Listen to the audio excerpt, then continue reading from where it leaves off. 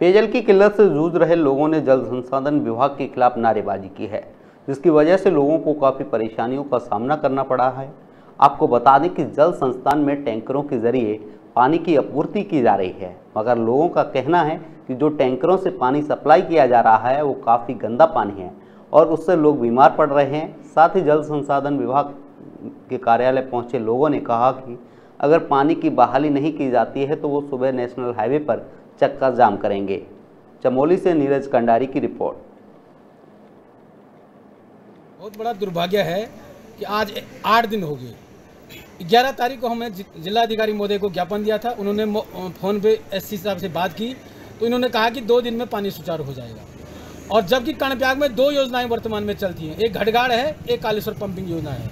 हम इस नकारा विभाग को पूरी जनता आठ दिन से परेशान है। अभी पेयजल आपूर्ति बाधित हुई है कर्णप्रयाग नगर की। इसमें एन एच की जो रोड कटिंग से ये पूरी और उसके उपरांत जो बारिश आई है, पूरी की पूरी लाइन जो उसमें पास आउट होगी करीब दस बारह पाइप उसमें नीचे बह गए। अभी उसकी वेल्डिंग का कार्य प्रगति पर है। और आज रात तक, आज रात तक हम उसको या कल सुबह तक एट द हम उसको रिस्टोर करके